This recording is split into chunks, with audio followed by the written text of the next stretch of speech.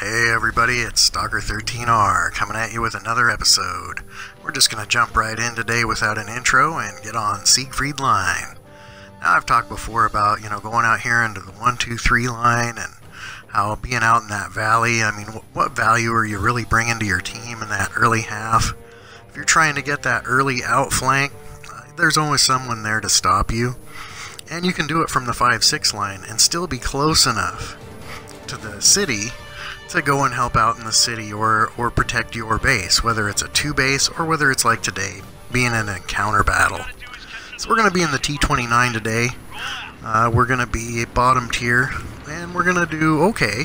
You know, it's not going to be an amazing game, but uh, as the title suggests, you know, we might end up top of the list anyway. The T-29's always been a really good vehicle to be bottom tier in, because know, it's got some characteristics that makes it a little easier to accomplish that goal. So we're going to head up to the 5-6 line because we know we're going to get some free shots in on the guys that are undoubtedly going to come across that field. And uh, we'll kind of assess what, how the situation is developing. Being bottom tier, we're definitely not in a position where we're going to lead the charge against these tier 9 tanks. So we're just going to try to get into a position where we can actually do something to support the team. You know, where can I get my gun in the game? Where can I warm up my barrel? You know, where am I going to actually be able to get some kind of damage or tracking assist that uh, will actually be useful to my team, you know, as a whole, even if I'm not that primary damage dealer. So we've got quite a bit of our guys out there in the field too, and uh, they're going to have a little exchange out there, and you know, ultimately it's really not going to affect the outcome of, of the overall game. So we'll just do a little house cleaning over here and see how the situation develops in the city. Now being positioned right here, in an encounter battle, Stalker13R always tells you you want to be within 30 to 45 seconds of that flag so that if three enemies jump on that base, you can get there in time to do something about it, to stop that cap. Because in a game of capture the flag, especially where there's only one flag, people can and do capture the flag. I know, dare I say it out loud, as much as that might be a shock to a lot of World of Tanks players, uh, in a game of capture the flag, people will indeed uh, capture the flag. So yeah, that uh, field situation, you know, it's pretty stable. You know, you get out there, you get a couple of shots in, see how the situation goes. You know, if I were top tier, I would have came over here to the city right away so that I could apply my apply my uh, battle power immediately. But since I'm bottom tier, I wanted to let that situation develop and then get into a sneaky spot over here, put a track on that 100, and uh, you know, see what we can't get done. You know, anything you can do to, you know, fix those guys into position so that somebody with, you know, better equipment can get some things accomplished. You know, so there we're getting a little bit of damage in. I'll be more than happy to shoot over the shoulder of this uh, Conqueror here. And, uh, see if I can't fix somebody into position so that they can't drag back in. And there I got tracking assist for that. So I'm just going to work with my tank partners here.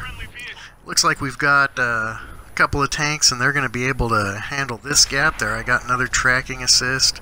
So, you know, anything that you can do to be helpful when you're bottom tier. I don't have to be charging in. I don't have to just waste my tank on being a distraction. You know, I can just get into a place where I have a narrow channel, shoot over some shoulders.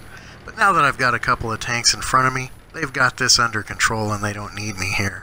So I need to find another spot on the battlefield that I'm needed.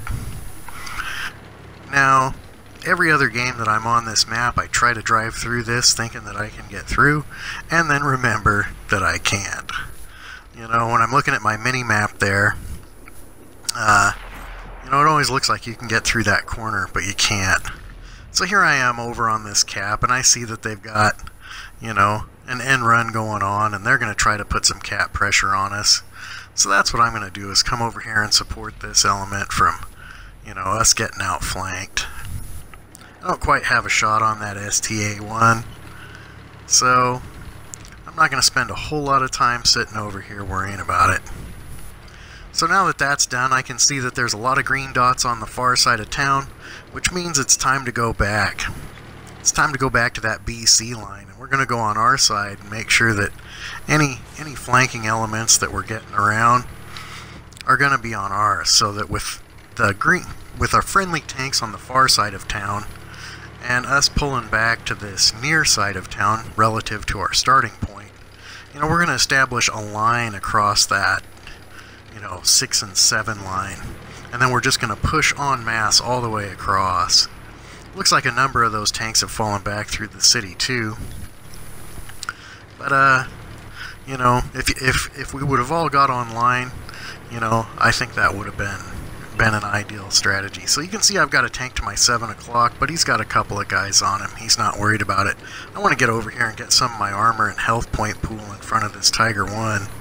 Looks like he's been duking it out. You know, he's lost a lot of that health point pool, so I just want to present another target that might be a threat and distract from him. So it's late in the game. We're doing pretty good. I wonder where those last two uh, TDs are. Uh, I think they're out in the field, and I think they've been sitting there, you know, most of the game. And you know, I'm just not not sure, you know, how that's really uh, benefited their team a whole lot. So now the Cats decided to interested in uh, what I've got going on today. I don't know if you're going to pick that up in the audio, but uh, we'll find out when we hit the replay. So I can't quite get a shot on this guy. He's just showing a sliver of the turret relative to where I am.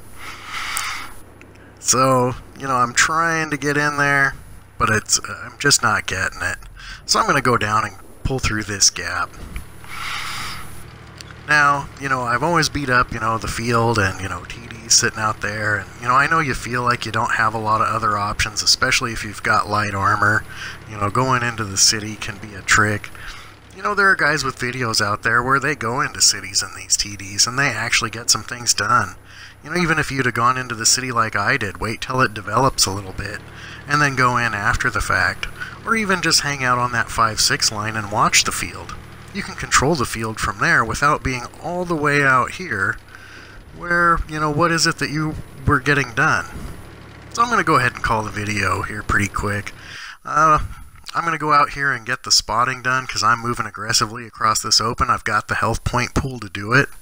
So I'm going to use that health point pool and come on out here and make sure that we keep those targets lit. I'm going to get a shot on both of them. I get one of the kills, somebody else gets another one. So here we are, average game, 2,000 damage, you know, only two kills. You know, nothing big in the in the in the stats department, but we put another win on the board. And there we are, top of the list, even though we were bottom tier. So I hope that's a good look at you know this map once again. And we'll give you not only a look at uh, some things that you can do on that map, like you can control that field from the 5-6 line. There's no need to go way out into the 1-2-3 line and you're still close enough that you can affect, you know, the base cap, whether it's an encounter game, whether it's a two base game, you can get into the city. You can just do so much more from that 5 6 line than you can from that 1 2 3 line. And, you know, that end run never works out anyway because there's always somebody at the 5 6 line. So that's just my two cents. You know, it's not an absolute. I'm never going to come on the mic and, you know, you know, berate anybody that's sitting out there. It's their game. They can play it how they want. But, you know, if, if you're someone that's out there, you know, I'd ask you to consider, you know, how much how much you're really getting getting done for the game. So I had a subscriber, Neo Bonsai. Uh, shout out to you. Super guy, Neo Kamikaze. Uh, sent in some uh, a video of him doing some power slides and stuff like that. And that's not a play style that I do really well. So I was really excited to get that clip and try to get it on the channel. And the way the Upload Studio works, and it's all based off of my DVR, when someone sends any kind of video, I can't get their video onto my DVR.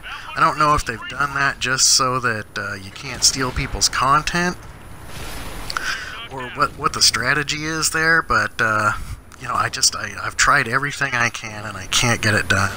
So I wanted to bring you that. I'll see if I can't mix up something uh, from some footage that I have that'll, you know, maybe make up for that. But I really appreciated, you know, being sent that footage, and I'm really sorry that I couldn't get it up.